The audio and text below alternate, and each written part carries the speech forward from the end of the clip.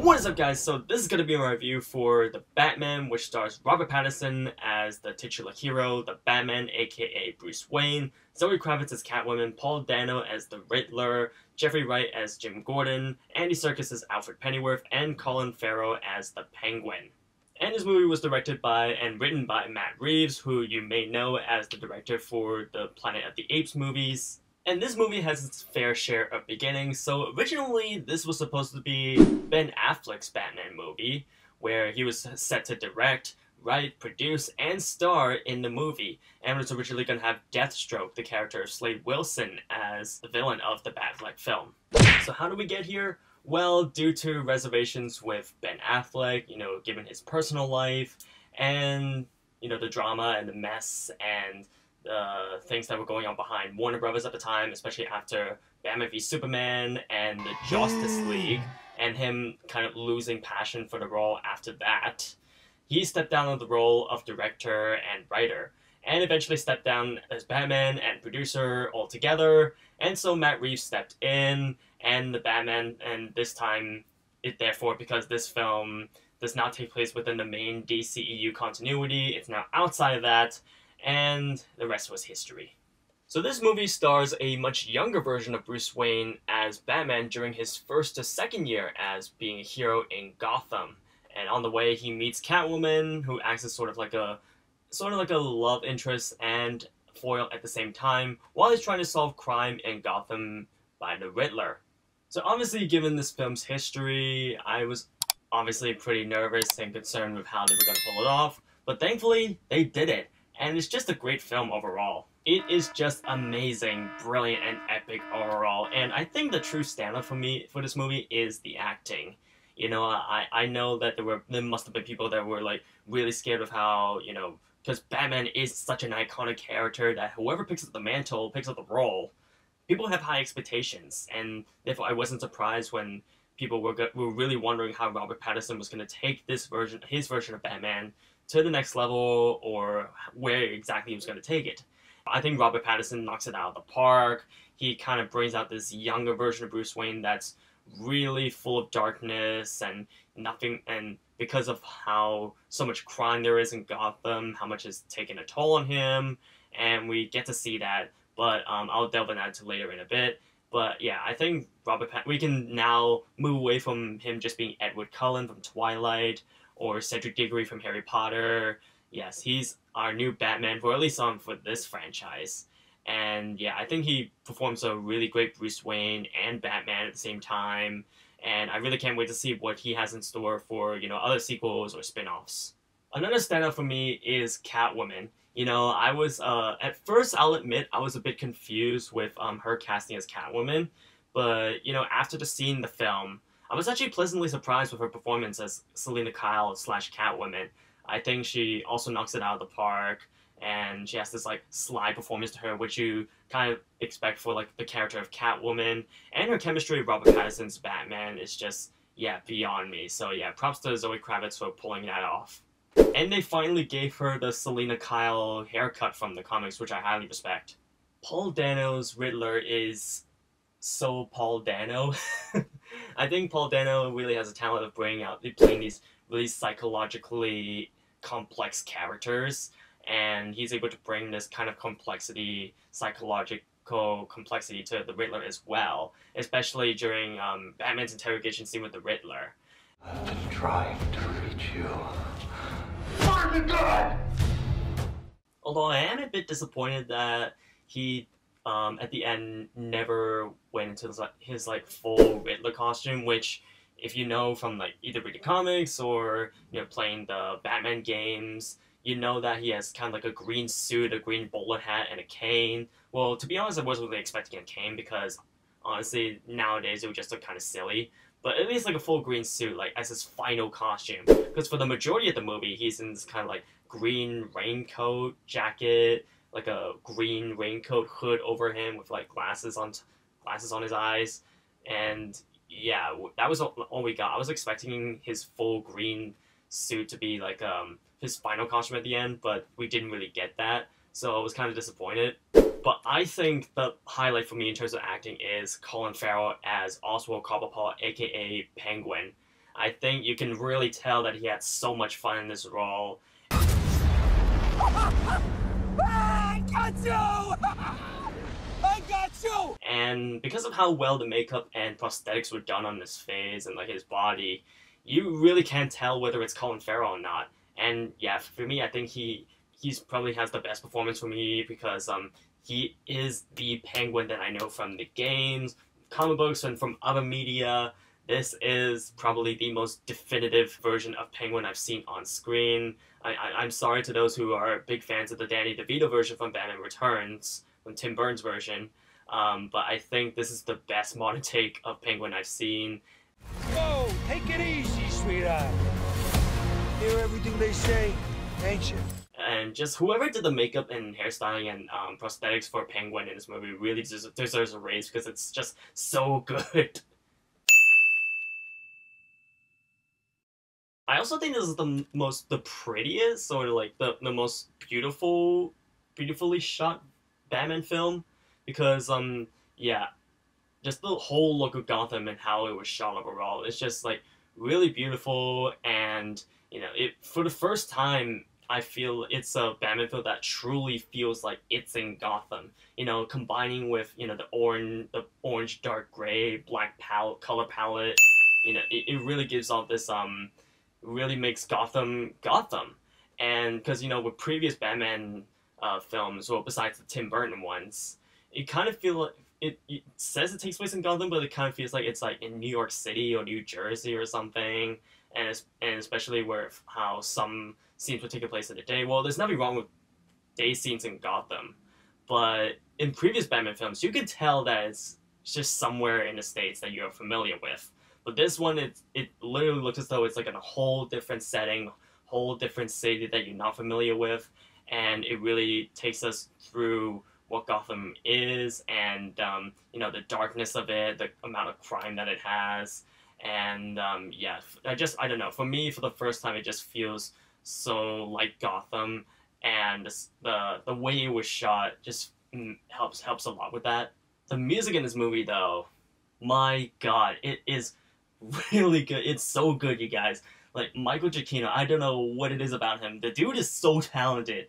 Like you know, going from Incredibles to Spider Man and Doctor Strange in the MCU, and now this, he's able to create such I don't know, really great themes that um, not well. I shouldn't say thematic, but then are you can recognize, you can you are familiar with, and uh, they're not just like one-off themes that are just for like one movie. Um, there are themes that they play throughout, you know, throughout the entire franchise, and I'm assuming that this Batman theme that he created will be played for like the other sequels and spin-offs. And yeah, it's just really, really good. It brings out the ma- majesty of the Batman and the kind of mystery of Gotham as well. Yeah, Michael Giacchino, the music behind this film, it's just really good.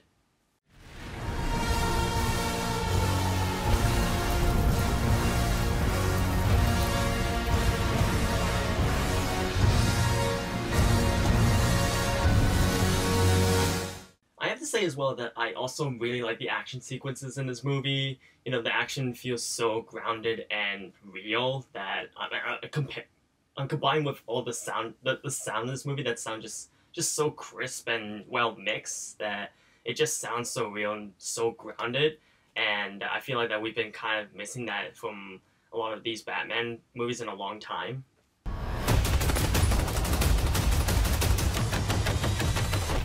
Like it's not over over the top or with like involves like big budget or like has epic music surrounding it or anything. It's just plain simple, and I think that's really all you need for the character of Batman because like he doesn't have any superpowers, and obviously, and he, he relies on his basically his his physical strength most of the time. Well, not most of the time. He has gadgets as well, but when he's like hand to hand combat, really that's all you that's all you need for demonstrating that power that Batman has and physical strength, and I feel like this film nailed it.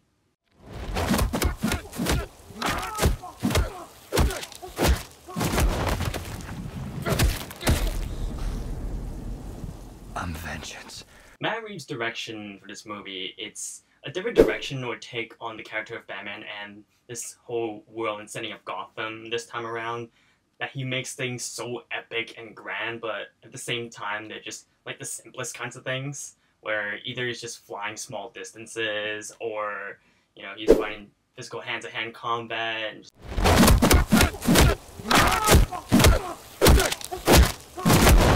or like a car chase sequence. It, it, all, it all feels like very simple things, but yeah, they feel so epic. And he made this entire movie pretty much stretch out the whole way through, uh, basically a crime story, where it involves like crime after crime after crime after crime after crime throughout the entire movie until he finally finds the Riddler and stops his plans. Like, there's not really any big subplot or anything involved in between. It's just like basically Batman trying to solve each crime all the way through until he gets to Riddler, which it's kind of like in the Arkham games where you're basically set up with this villain and you basically have to solve the mystery all the way all the way through to the end. Yeah, it's basically that. It's very very very straightforward in this movie.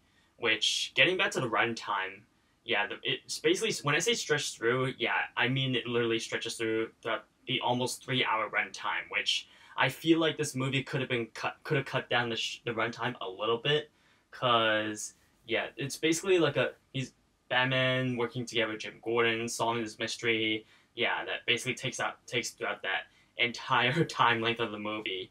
And there were definitely scenes where I feel like that it could have been cut and could, could just go, you know, uh, on to, move on to the next point already. Which I think some of the scenes have been dragged out, and that's why I think the runtime could have been cut a bit shorter and I think the movie would have been much more perfect that way. There were also a few ideas that I felt that were basically or thrown. I shouldn't say thrown, but were kind of like suggested or implied in a way throughout this entire movie that I felt that times weren't really as developed for me personally. Like this movie is supposed to also uh, dive deeper into the psychology of Bruce Wayne being this crime fighter in the these these chaotic streets of Gotham and honestly, I feel like this movie didn't really delve too much on it. It mainly focused on him being in the Batman suit, which he actually is in throughout the majority of the movie, which I think it's definitely something that a lot of Batman movies don't do, which is they have that Bruce Wayne be in the suit throughout most of the movie. I think he was in the suit for like 80% of the movie, or 90% of the movie actually. It's basically, yeah, for most of the runtime of the movie. But I do love the practicality. I do love how practical Batman slash Robert Pattinson's suit is in this one. I hope that we get to see more upgrades of the suit as we go along through this film, new film series of Batman films. But going back into diving deeper into Bruce Wayne's, uh, you know, kind of mental state throughout the movie, it's, yeah, it's it. Let's just say that it's implied that he is in a dark place, and since because he's in the suit most of the time, I feel like this movie that this is an idea that was kind of suggested or kind of they wanted to explore, but it was so focused on you know Batman solving crime in Gotham City that it didn't really get so much time to kind of dive deeper into Bruce Wayne's kind of psychology, psychological mental state. If this continues, it won't be long before you've nothing left. I don't care what happens to me. It's only gonna get worse for you. Because um yeah, fighting crime in Gotham, in one of the darkest cities in the world, it's got to take a toll on you. And we do kind of see that. There are some scenes where we get to see that, but I just wish that this movie dive de- delved deeper into that more. Because, like I said, with him just solving crime within Gotham, this overstretched crime, that I feel like it could have been cut down for scenes like, you know, seeing Bruce Wayne as a character as well, not just Batman, not just Robert Pattinson slash Bruce Wayne in the suit then yeah, I think it would have been more effective and it could have um, made more use of the runtime that way. There were also two things that kind of um, disappointed me as well. Um, well, the scene, not seeing the Riddler in his like full green suit. Um, although him in the the blue green jacket, uh, raincoat jacket, it works for the film obviously. But the other thing that I re- actually wanted to see, and I think it's contrary to a lot of Batman fans, that I actually wanted to see Batman have a kill this time around. You know, if there was one film where we get to see a dark, much darker Batman, it would be this one. And I feel like this movie would, would have been the perfect time to see Batman kill someone and kind of go through the ramifications and the consequences of that. But yeah, um, in this movie, Batman doesn't kill, unfortunately. um, which I really thought they would because the trailers kind of seemed to give me that vibe. But yeah, I, I don't know. That's just one thing I really wanted to happen actually, um, but it didn't happen. So that was one thing. I was, another thing I was kind of disappointed by. But overall, like I've said from the very beginning, this is a beautiful, beautifully made Batman movie, and for the first time, it actually feels like it takes actually takes place in the city of Gotham, like you see from the comic books and or the Arkham games. A lot of performances from the cast to remember by, and hopefully down the line, as we get more sequels and spin-offs, they'll become more iconic. It's the most grounded Batman films I've seen since the Dark Knight trilogy, and even though it's not 100% of what I was looking for or expecting with this film, and even though I personally really do think that the runtime could have been cut just a bit shorter, yeah, I just, I'm still hyped and excited and am anticipating for any future installments within this new Batman franchise that exists out of the main DC EU continuity, and more spin offs and sequels from this franchise of Batman films. I'm gonna give the Batman an 8 out of 10 and an A minus. But at the same time, though, to think that this is how we got here, like, if Batfleck, if the Batfleck, Batfleck film wasn't canceled, if Ben Affleck's film wasn't canceled, then we wouldn't have got this film. So I, I, it is curious to imagine, you know, what would happen if the Batfleck film did happen, and you know what kind of film, you know, what it would actually aesthetically and visually look like in that Batfleck film. You know, Ben Affleck's Batman versus Joe Man- Manganiello's Deathstroke. I mean, what would that look like? I mean, I don't know. I guess we'll never know now that we have this new Batman film franchise. But yeah, I guess we can only imagine our own dreams and I guess our own fanfics or fan concept arts of you know what it may look like. But yeah, I guess we'll never know. But guys, that has been my review for the Batman. I forgot to mention at the very beginning of this video that there will be some spoilers in the video. So um, if you went into this video thinking that there'd be no spoilers, I really do apologize. I I, I probably put like a spoiler um, alert on the very beginning of this of this video, anyways. But yeah, so hopefully you guys enjoyed it. And if you like this, leave a like because it helps all a time. But my question for you guys is, have you seen the Batman? Have you even heard of it? And if you have seen it, then what do you think of it? Where do you rank it? Where would you rank it in terms of what your list of Batman films are? If you have seen the other Batman films, and let me know in the comments below as well who you who your favorite Batman actor is right now, and where you would rank Robert Pattinson in terms of the rest of the Batman actors that we've had so far on the big screen. So, anyways, that's gonna do. Thank you so much for watching. Hope you guys enjoyed it, and uh, as always, I'll see you guys in the next one. And remember to subscribe as well.